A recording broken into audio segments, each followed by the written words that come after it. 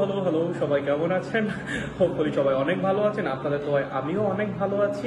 তো চলে আসলাম আপনাদের কাছে আজকে নতুন আরেকটা ভিডিও নিয়ে। আমি আছি আপনাদের সাথে প্রমিত, পড়াশোনা করছি বুয়াই ট্রিপলিতে এবং আমাদের আজকের যে ভিডিও টপিকটা সেটা মডার্ন ফিজিক্সের একটা টপিক এবং হোপফুলি এই টপিকের সাথে আপনারা সবাই অনেক বেশি ভালোভাবে পরিচিত।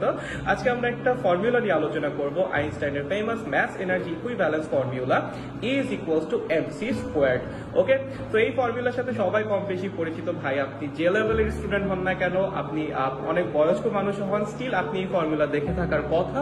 কারণ মোটামুটি সব ফিজিক্স বইয়ের প্রচ্ছদে বা বিভিন্ন পোস্টারের লিফলেটে এই ফর্মুলা দেখা যায় is equals to M C squared okay so আজকে বেসিক্যালি আমরা যেটা চেষ্টা করব, এই ফর্মুলাটার মানে কি সেটা বোঝার জন্য ডেপথে গিয়ে এবং অবশ্যই আমাদের চেষ্টা থাকবে ফর্মুলাটা প্রুভ করার জন্য, প্রমাণ করার জন্য। ঠিক আছে? তো দেরি না করে চলেন শুরু করা যাক আমাদের আজকের ক্লাস ক্লাস না ঠিক ভিডিও ইনফরমেটিভ ভিডিও রাইট আচ্ছা চলেন। সো আমাদের আজকে যেটা নিয়ে আলোচনা, সেটা হলো is equals to M C square okay ভাইয়া, এটার মানে কি ভাইয়া? এটা কি জিনিস ভাইয়া? এটা হলো the famous math energy equivalence formula of sir Albert Einstein ভাইয়া, দেখেন এখানে তিনটা টার্ম ব্যবহার করা হয়েছে। একটা ই একটা এম আর একটা সি প্রত্যেকটা টার্মের মিনিং আমরা প্রথমে বোঝার চেষ্টা করব। খেয়াল করেন ই কি? ই হলো total energy of an object মানে একটা অবজেক্টের মধ্যে মোট শক্তি। এটা কোনো স্পেসিফিক ফর্মের শক্তি না, যে লাইক বিভব শক্তি, গতি শক্তি, এরকম কিছু না। একটা অবজেক্টের মধ্যে টোটাল যতখানি এনার্জি থাকবে, সেটাই হলো আমাদের ই ভাইয়া এম কি? এম হলো ভাইয়া রিলেটিভিস্টিক ম্যাস ভাইয়া রিলেটিভিস্টিক ম্যাস কি জিনিস? শুনেন। আমাদের মতো রেগুলার অবজেক্টরা যখন মুভ করে, তখন নর্মালি আমাদের গতির জন্য আমাদের ভরে কোনো চেঞ্জ আসে না। বাট যখনই আপনার ভেলোসিটি লাইটের ভেলোসিটির কাছাকাছি চলে যাবে লাইটকে ক্রস করে যাবে, সেটা তো পসিবল না লাইটের ভেলোসিটির কাছাকাছি যাবে, তখন আপনার ম্যাসে চেঞ্জ আসবে আপনার গতির জন্য। এবং আপনার ম্যাসে যে চেঞ্জ আসবে মানে আপনার টোটাল যে চেঞ্জড যে ম্যাসটা সেটাকেই বলা হয় রিলেটিভিস্টিক ম্যাস ভাই ম্যাসে কেন চেঞ্জ আসে? তার জন্য আপনার স্পেশাল থিওরি অফ রিলেটিভিটি জানা লাগবে। স্পেশাল থিওরি অফ রিলেটিভিটিতে পড়লে আপনার তখন জেনে যাবেন যে ম্যাসে কেন চেঞ্জ আসে। ঠিক আছে? ম্যাস নর্মালি কি করে? ইনক্রিজ করে। যখন আপনি আলোর কাছাকাছি বেগে যান, যত বেশি বেগে যাবেন আপনার ম্যাস তত বেশি ইনক্রিজ করবে। এবং সি যেটা, সেটা হলো স্পিড অফ লাইট বা আলোর বেগ যেটা আপনারা সবাই জানেন, আলোর বেগের মান কত? Three into ten to the power eight metre per second so এই তিনটা টার্ম আমাদের এই ফর্মুলাতে ব্যবহার করা হয়েছে। ভাইয়া, এই ফর্মুলার নাম ম্যাস এনার্জি ইকুইভ্যালেন্স ফর্মুলা কেন? কেন এই নামই দেওয়া হলো? শুনেন। ধরেন আপনি গতিশীল আছেন, গতিশীল অবস্থায় আপনার ভর সত্তর কেজি। এখন আমি আপনাকে জিজ্ঞেস করলাম, আপনার মধ্যে টোটাল কতখানি এনার্জি আছে? এই ফর্মুলা দিয়ে আপনি সরাসরি সেটা বের করে ফেলতে পারবেন। এম হলো আপনার গতিশীল অবস্থার ভর বা রিলেটিভিস্টিক ম্যাস সেখানে আপনি সত্তর বসায় দিবেন সি এর জায়গায় আলোর বেগ বসায় দিবেন, সেটাকে স্কোয়ার করে দিবেন, যে মানটা আসবে সেইটাই হলো আপনার মধ্যে থাকা total energy that means E এর যে মানটা বের হচ্ছে, সেটা হলো এম এর তুল্য শক্তি। মানে এম পরিমাণ ভরের মধ্যে এম পরিমাণ গতিশীল অবস্থায় থাকা এম পরিমাণ ভরের মধ্যে কতখানি শক্তি থাকতে পারে, সেটাই হলো আমাদের ই ওকে কতখানি টোটাল শক্তি থাকতে পারে সেটাই হলো আমাদের ই এর জন্য এটাকে কি বলা হয়? ম্যাস এনার্জি ইকুইভ্যালেন্স ফর্মুলা যে এতখানি রিলেটিভিস্টিক ম্যাসের মধ্যে কতখানি টোটাল শক্তি থাকে। ওকে? সো হোপফুলি ফর্মুলাটার ব্যাপারে একটা আইডিয়া চলে আসছে। এখন আমরা চেষ্টা করব এই ফর্মুলাটাকে একটু প্রুফ করার জন্য। এই ফর্মুলাটা স্যার আলবার্ট আইনস্টাইন নিজেই প্রুভ করেছিলেন but it was a thought experiment এটা একটা চিন্তার একটা এক্সপেরিমেন্ট ছিল, ঠিক আছে? চিন্তাটা অনেকটা এরকম ছিল। চলেন, দেখি, শুরু করা যাক। দেখেন দেখেন, আমি এঁকে রাখছি, আপনাদের সুবিধার জন্য আমি এটা এঁকে রাখছি। ওয়াও, ভাইয়া কত ভালো, ভাইয়া এঁকে রাখছে। চলো, দেখা যায় দেখো, আমাদের কাছে কি আছে ভাইয়া? আমাদের কাছে একটা কন্টেইনার আছে। কি আছে? একটা কন্টেইনার আছে। কন্টেইনারের লেফট সাইডে খেয়াল করেন, আমাদের কাছে কি আছে? একটা লাইট সোর্স আছে, একটা লাইট এমিটিং সোর্স যেখান থেকে লাইট বের হবে। এবং ডান পাশে আমাদের কাছে কি আছে ভাইয়া? একটা অ্যাবজর্বার আছে, যে কিনা ওই লাইটটাকে অ্যাবজর্ব করবে, শোষণ করবে। ঠিক আছে? তো কি হয়? আমাদের যে লাইট এমিটিং সোর্স আছে, সেখান থেকে কি হয়? একটা লাইট বের হয়, একটা আলোক রশ্মি বা আলোর কণা কি হয়? বের হয়। আলোর কণার নাম কি বলো তো ভাইয়া? ফোটন এখান থেকে কি হয়? একটা আলোর কণা বের হয়। একটা আলোর কণা এখান থেকে বের হয়। আচ্ছা এখন একটু অন্যভাবে চিন্তা করেন। আপনার কাছে একটা বন্দুক আছে। হ্যাঁ আপনি বন্দুকটা দিয়ে একটা ঠুস করে গুলি করলেন। কেমনে করে গুলি করলেন? ঠুস করে। ঠিক আছে? এখন গুলিটা করার আগে বন্দুক আর গুলি দুইজনই স্থির অবস্থায় ছিল। তাই তো? তার মানে দুইজনের আদি ভরবেগ ছিল শূন্য। যখন আপনি গুলিটা করবেন, বন্দুক থেকে গুলি কোন দিক যাবে? সামনের দিকে যাবে। দ্যাট মিনস গুলিটার যে শেষ ভরবেগ, সেটা কাজ করতেছে সামনের দিকে। তাহলে বন্দুকের শেষ ভরবেগ কোন দিক কাজ করে বলেন তো? পিছনের দিকে কাজ করে। বন্দুক কিন্তু রিকয়েল করে। পিছনের দিকে ভরবেগ প্রাপ্ত হয় বা পিছনের দিকে চলে আসে। Same thing will happen in this case যখনই আমার ফোটন সামনের দিকে যাবে বা আমাদের যে আপনার স্ক্রিনে যেটা দেখতে পাচ্ছেন, ডান দিকে যাবে, তখনই আমাদের কন্টেইনার কি করবে? ভরবেগের সংরক্ষণশীলতার নীতি অনুযায়ী পিছনের দিকে চলে আসবে। বুঝছেন? যখনই ফোটন ডান দিকে যাবে, আমার যে কন্টেইনার সেটা ভরবেগের সংরক্ষণশীলতার নীতি অনুযায়ী বাম দিকে চলে আসবে। বুঝতে পারতেছেন তো ভাইয়া? তার মানে আমার যে ফোটনটা আছে ও কি করবে? ডান দিকে মুভ করবে এবং ফোটন যখনই ডান দিকে মুভ করবে, আমার যে কন্টেইনার ও কি করবে? বাম দিকে মুভ করবে।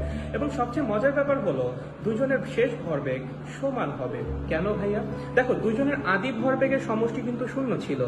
শেষ ভরবেগের সমষ্টিও অবশ্যই অবশ্যই শূন্য হইতে হবে। ভরবেগ কিন্তু একটা ভেক্টর রাশি।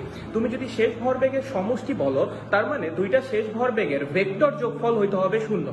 তার মধ্যে একটার শেষ ভরবেগ কাজ করতেছে ডান দিকে, আর একটার শেষ ভরবেগ কাজ করতেছে বাম দিকে।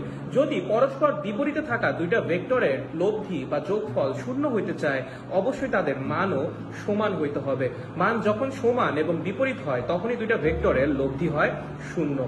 দ্যাট মিনস আমার ফোটনের যে শেষ ভরবেগ হবে, ঠিক সেম শেষ ভরবেগ প্রাপ্ত হবে আমাদের কন্টেইনার বাট উল্টা দিকে। ফোটন যেদিকে যাবে কন্টেইনার যাবে তার উল্টা দিকে। বুঝি এই পর্যন্ত? সবাই বুঝি? গুড আচ্ছা এখন খেয়াল করেন। তার মানে আমার ফোটন সামনের দিকে বা ডান দিকে আগায় যাচ্ছে, একই সাথে আমার কন্টেইনারও বাম দিকে আসতেছে। ঠিক আছে?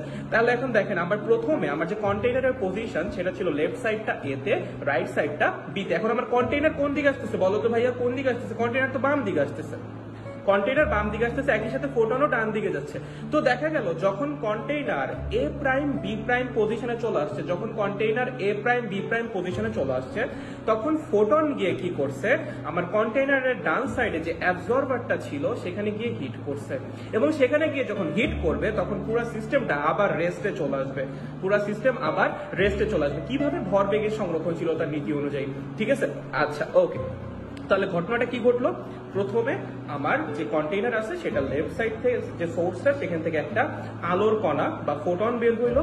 সেটা বের হওয়ার কারণে ডান দিকে গতিশীল হওয়ার কারণে কন্টেইনার পিছনের দিকে বা বাম দিকে মুভ করল এবং তারপর গিয়ে যখন container A prime B prime পজিশনে চলে আসছে, তখন কি হয়েছে আমার যে আলোর কণা, সেটা গিয়ে কন্টেইনারের ডান পাশে থাকা অ্যাবজর্বারে গিয়ে হিট করছে। তাহলে আমি যদি বলি, আমি যদি বলি যে আমার কন্টেইনার কতখানি মুভ করছে? দেখেন কন্টেইনার প্রথমে কোথায় ছিল? এ। প্রাইমে ফাইনালি কোথায় গেছে? এ ডাবল প্রাইমে তাই তো? প্রথমে ছিল এ প্রাইমে ফাইনালি গেছে এ ডাবল প্রাইমে তাহলে একটু খেয়াল করেন তো ভাইয়া কন্টেইনার প্রথমে এই বরাবর ছিল ফাইনালি এখানে আসছে। তাহলে আমি কি বলতে পারি? এই যে ডেল এক্স পরিমাণ মুভ করছে আমার কন্টেইনারটা বলতে পারি? তাহলে এই যে আমার ডেল এক্স এটা কি distance travelled by the container মানে কন্টেইনার কতখানি দূরত্ব অতিক্রম করেছে? সেইটা। ওকে খুবই ভালো। এবং ধরেন ডেলটি হলো প্রয়োজনীয় সময়। কি প্রয়োজনীয় সময়? এই যে ডেল এক্স পরিমাণ দূরত্ব অতিক্রম করার জন্য প্রয়োজনীয় সময়। আমি যদি বলি, ভাইয়া ফোটন কতখানি মুভ করছে? দেখেন ফোটন প্রথমে এতে ছিল প্রথমে এতে ছিল ফোটন ফাইনালি কোথায় গেছে বলেন তো? বিতে গেছে ফোটন। না, ফোটন কিন্তু বিতে যায় নাই ভাইয়া। ফোটন কিন্তু বি প্রাইম পর্যন্ত যাইতে পারছে। খেয়াল করেন ফোটন কিন্তু বি পর্যন্ত যাইতে পারে নাই, কারণ কন্টেইনার কিন্তু বাম দিকে আসতেছিল। সো ফোটন যাইতে পারছে বি প্রাইম পর্যন্ত। দ্যাট মিনস আমার ফোটন গেছে এ থেকে বি প্রাইম পর্যন্ত এবং এই পর্যন্ত যে ডিস্টেন্সটা সেটাকে আমরা বলেছি এল তাহলে এল যেটা, সেটা হলো distance travel by the light photon মানে আলোর যে কণা, সেটা কতখানি দূরত্ব অতিক্রম করেছে, সেটা হলো আমাদের এল এবং একই সাথে আমি এটাও বলতে পারি যে আমার যে ডেলটিটা ডেলটিটা হলো আলোর কণার এল পরিমাণ দূরত্ব অতিক্রম করতে প্রয়োজনীয়। সময় খেয়াল করেন কন্টেইনার যতটুকু সময়ে ডেলেক্স পরিমাণ পিছায় গেছে, ঠিক একই সময়ে আমার আলোর কণা কিন্তু এল মিটার পরিমাণ আগায় গেছে। দ্যাট মিনস কন্টেইনারের ডেলেক্স পরিমাণ দূরত্ব অতিক্রম করতে যে সময় লেগেছে, আলোর কণা বা ফোটনের এল পরিমাণ দূরত্ব অতিক্রম করতে কিন্তু ঠিক একই সময় লেগেছে। ঠিক আছে? খুবই ভালো। এম যেটা, সেটা বড় হাতের এম যেটা, সেটা হলো কন্টেইনারের ভর এবং ছোট হাতের এমটা আপাতত একটু সাইডে রাখেন। একটু পরে বোঝার চেষ্টা করি ছোট হাতের এমটা কি। ওকে এই পর্যন্ত কোনো সমস্যা নাই। খুবই ভালো। তাহলে এখন যদি আমি লিখি, ভরবেগের সংরক্ষণশীলতার নীতি অনুযায়ী, কি অনুযায়ী ভাইয়া? ভরবেগের সংরক্ষণশীলতার নীতি অনুযায়ী ভরবেগের সংরক্ষণশীলতার নীতি অনুযায়ী, সংরক্ষণশীলতার নীতি অনুযায়ী। কি লেখা যায়? ভরবেগের সংরক্ষণশীলতার নীতি অনুযায়ী? লেখা যায়, আমার যে কন্টেইনারের শেষ ভরবেগ এবং আমার যে লাইটের শেষ ভরবেগ, লাইট ফোটনের, সেই দুইটা সমান। ঠিক আছে? তাহলে আমার ধরেন, আমার যে কন্টেইনারের ভর, সেটা হলো এম এবং কন্টেইনারের শেষ বেগ ধরেন ভি তাহলে এটা হলো আমার কন্টেইনারের শেষ ভরবেগ। ভাই, এটা তো বুঝলাম। আলোর ভরবেগ কেমনে বের করে ভাইয়া? তার জন্য স্পেশাল থিওরি অফ রিলেটিভিটিতে একটা ফর্মুলা আছে। Is equals to root over p square c square plus m naught square c to the power 4 e is equals to p square c square plus m naught square c to the power 4 আচ্ছা p মানে হলো ভরবেগ c হলো আলোর বেগ m naught কি M naught হলো কোন একটা কিছু রেস্ট ম্যাস দ্যাট মিনস সে যখন স্থির থাকে, সেই অবস্থার ভর। এখন আমরা যখন স্থির থাকি, যখন গতিশীল থাকি, আমাদের ভর তো একই থাকে। বাট যখন কোন একটা অবজেক্টের বেগ অনেক বেশি হবে, তখন সে স্থির থাকার স্থির থাকা অবস্থায় তার ভর এবং গতিশীল থাকা অবস্থায় তার ভর সেম হবে না। ডিফারেন্ট হবে। ঠিক আছে? এখানে এম নটটা হলো স্থির অবস্থার ভর। এবং আমাদের যে ফোটন আছে ফোটনের যে রেস্ট ম্যাস বা আলোর কণার যে রেস্ট ম্যাস বা স্থির অবস্থার ভর, সেটা হলো জিরো দ্যাট মিনস ফোটনের জন্য এম নট হলো জিরো আলোর কণার জন্য এম নট হলো জিরো তাহলে বসাই দাও is equals to root over শুধুমাত্র থাকবে পি স্কোয়ার সি স্কোয়ার ওই পাশটা হয়ে যাবে zero that means is equals to P C দেখো তো পিটা কি আমার? ভরবেগ না তাহলে P is equals to E divided by C ঠিক আছে? এখানে পিটা হলো আলোর বা ফোটনের ভরবেগ ইটা হলো ফোটনের এনার্জি বা ফোটনের শক্তি, এবং সি হলো আলোর বেগ। চলো, তাহলে আমরা কি এখন লিখতে পারি ভাইয়া? M into V is equals to E divided by C E divided by C ঠিক আছে? আচ্ছা আমার কন্টেইনারের শেষ ভরবেগ ইজ ইকুয়ালস টু ফোটনের শেষ ভরবেগ। আচ্ছা ভাইয়া, খুবই ভালো। চলেন, এখন ভিটা যেন কি? কন্টেইনারের শেষ বেগ, তাই না? ভাই কন্টেইনার কতখানি দূরত্ব গেছে? ডেলেক্স পরিমাণ একটু আগে দেখেছেন। তার জন্য কতখানি সময় লাগছে? ডেলটি সময় লাগছে। তাহলে ডেলেক্স বাই ডেলটি এটা কি কন্টেইনারের বেগ না, ভাইয়া? ইজ ইকুয়ালস টু ভি চলেন ভি এর জায়গায় বসাই দেন। Del X by del T is equals to E divided by C আরেকটা কথা বলেছিলাম। ডেলটি যেন কি ছিল? কন্টেইনারে ডেলেক্স পরিমাণ দূরত্ব অতিক্রম করতে প্রয়োজনীয় সময় এবং একই সাথে আলোর কণা বা ফোটনের এল পরিমাণ দূরত্ব অতিক্রম করতে প্রয়োজনীয় সময়। কন্টেইনার যতটুকু সময়ে ডেলেক্স পরিমাণ গেছে, ঠিক একই সময়ে আলোর কণাও কিন্তু এল পরিমাণ দূরত্ব অতিক্রম করেছে। আলোর কণার বেগ কত ভাইয়া? কনস্ট্যান্ট সি তাহলে আমি কি বলতে পারি? আমার আলোর কণার অতিক্রান্ত দূরত্ব এল ডিভাইডেড বাই প্রয়োজনীয় সময় ডেলটি ইজ ইকুয়ালস টু আলোর বেগ সি তাহলে আমি কি ডেলটিকে আলোর করার অতিক্রান্ত দূরত্ব ডিভাইডেড বাই আলোর বেগ আকারে লিখতে পারি? পারি। চলো, তাহলে ডেলটির জায়গায় বসাই দাও। এম ইন্টু ডেল এক্স ডেলটির জায়গায় কি বসাবেন? এল ডিভাইডেড বাই সি এলটা যেন কি ছিল? ফোটনের অতিক্রান্ত দূরত্ব, একটু আগে দেখে আসছেন, এই যে এখানে ছিল, এই যে ফোটনের অতিক্রান্ত দূরত্ব, কোথায় কোথায়? এই যে এই যে এখানে ছিল, মনে আছে? খুবই ভালো, মনে থাকলে তো কোপ সাবাস পোলাপান আচ্ছা চলো ডেলটির জায়গায় আমরা বসে দিব L divided by C is equals to E divided by C চলেন এই যে নিচের এল ডিভাইডেড বাই সিটাকে ডান পাশে নিয়ে যান, তাহলে M into del X is equals to E by C square into L ঠিক আছে? পেয়েছি এই পর্যন্ত, খুবই ভালো। এটাকে এই পর্যন্তই রেখে দাও।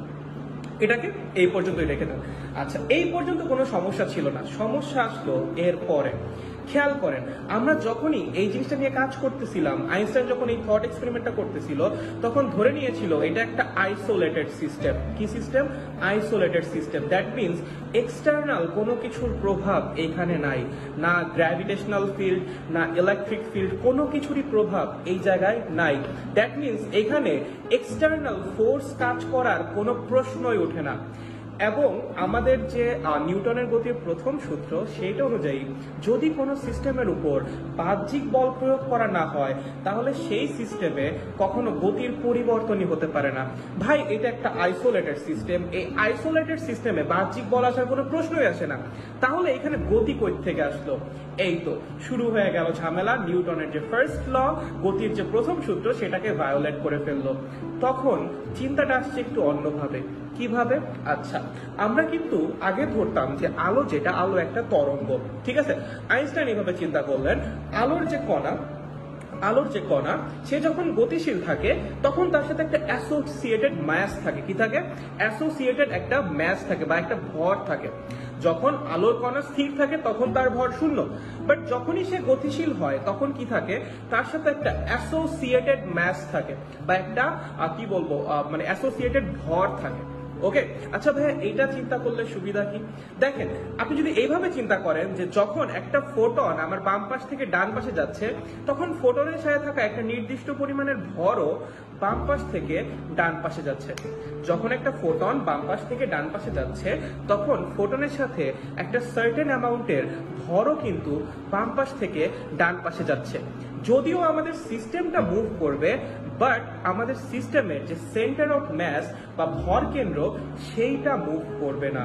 যখনই বাম পাশ থেকে ডান পাশে ভর ট্রান্সফার হবে, তখন সিস্টেমের ভর কেন্দ্র মুভ করবে না। সিস্টেম মুভ করবে বাট সিস্টেমের ভর কেন্দ্র একই জায়গায় থাকবে, এবং তাহলে আমাদের যে নিউটনের গতির যে প্রথম সূত্র, সেটা আর ভায়োলেট করবে না।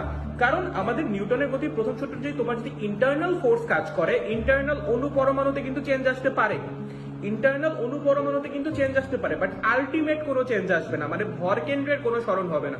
জিনিসটা একদম একই রকম। এখানেও বাম পাশ থেকে ডান পাশে ভর গেছে এবং আলটিমেটলি ভর কেন্দ্র চেঞ্জ হয় নাই। তার মানে এটাকে যদি আমি ফার্স্ট কন্ডিশন ধরি এবং এটাকে যদি আমি আমার সেকেন্ড কন্ডিশন ধরি, আমার তাহলে ধরা লাগবে যে এক নাম্বার এবং দুই নাম্বার কন্ডিশনে ভর কেন্দ্র একই জায়গায় আছে ভর কেন্দ্র চেঞ্জ হয় নাই। তাহলে আমার নিউটনের গতির প্রথম সূত্রও মেনে চলবে, একই সাথে ভরবেগের সংরক্ষণশীলতার নীতিকেও মেনে চলবে। তাহলে চলো আমরা দেখি এক নাম্বার অবস্থায় ভর কেন্দ্র কোথায় আছে। এক নাম্বার অবস্থায় ভর কেন্দ্র কোথায় আছে। চলো, ভর কেন্দ্র বের করে একটা ফর্মুলা আছে হোপফুলি তোমরা জানো ফর নাম্বার ওয়ান কন্ডিশন ভর কেন্দ্রের অবস্থান। ভর কেন্দ্রের অবস্থান আচ্ছা ভর কেন্দ্রের অবস্থান কোথায় ভাইয়া?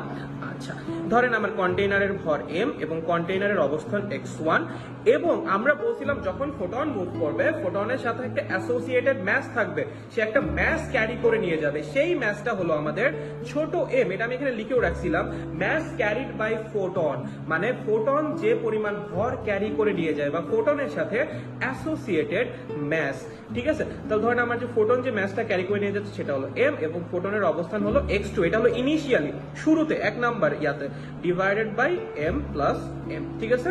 গেল আমার ভরকেন্দ্রের অবস্থান, শুরুতে এক নাম্বার পজিশনে সেকেন্ড পজিশনে ভরকেন্দ্রের অবস্থান। সেকেন্ড পজিশনে আমি একবারে ইয়া দিয়ে দিলাম, আমি একটু অলস মানুষ তো। যাই।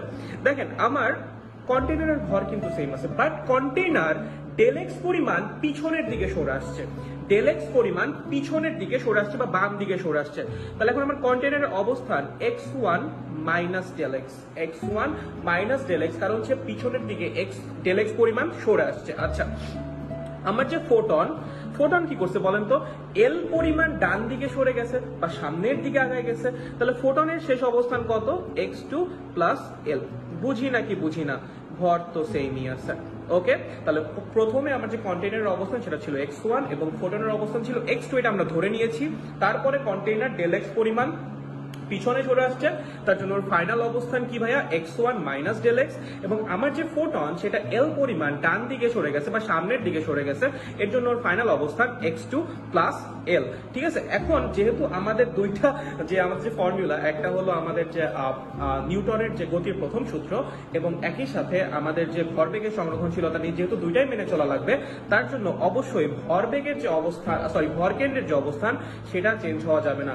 ভরকেন্দ্রে আগেও যেখানে ছিল সেগুলো এখনও ঠিক সেই জায়গায় থাকা লাগবে। তার মানে আমার যেটা আছে M X one plus M X two divided by M plus M is equals to M X one minus del X plus M X two plus L divided by M plus M দুটা কি হওয়া লাগবে? Same হওয়া লাগবে। ভর কেন্দ্র একই জায়গায় আছে। যদি ভর কেন্দ্র না সরে, তাহলে আমার নিউটনের গতির প্রথম সূত্র মেনে চলবে। কোনো বাহ্যিক বল প্রয়োগ করা হয় নাই সিস্টেমের ভর কেন্দ্র সেম জায়গায় আছে। সরেও নাই, নিউটনের গতির প্রথম সূত্র মেনে চলল। ঠিক আছে? চলেন নিচে দুই পাশ থেকে এম প্লাস এম বাদ দিয়ে দেন। উপরে কি থাকে? এম এক্স ওয়ান প্লাস ছোট এম এক্স টু উপরে এম এক্স ওয়ান মাইনাস বড় এম ডেল এক্স প্লাস ছোট M X two plus M L হইল ভাইয়া, তাহলে M X one M X one বাদ M X two M X two বাদ। আমি যদি এটাকে এই পাশে নিয়ে আসি, তাহলে M del X is equals to ছোট এম ইন্টু এল তাহলে এখন আমাদের যে এম ডেল এক্স আছে সেটার জায়গায় আমরা বসাই দিব ছোট এম ইন্টু এল চলো বসাই দাও। এম ডেল এক্সের জায়গায় কি বসাই দিবেন? ছোট M into L is equals to E divided by C square into L L L বাদ। চলে আসছে আমাদের formula E is equals to M C square so এই হলো আমাদের আইনস্টাইনের ফেমাস ম্যাস এনার্জি ইকুইব্যালেন্স ফর্মুলার যে প্রুফ সেটা। হোপফুলি বুঝতে পারছেন। যদি তাও না বুঝেন কমেন্ট করেন। আমি চেষ্টা করব আপনার প্রশ্নের উত্তর দেওয়ার জন্য। এতক্ষণ ধরে ভিডিওটা দেখার জন্য অসংখ্য ধন্যবাদ। অনেক অনেক ভালো থাকেন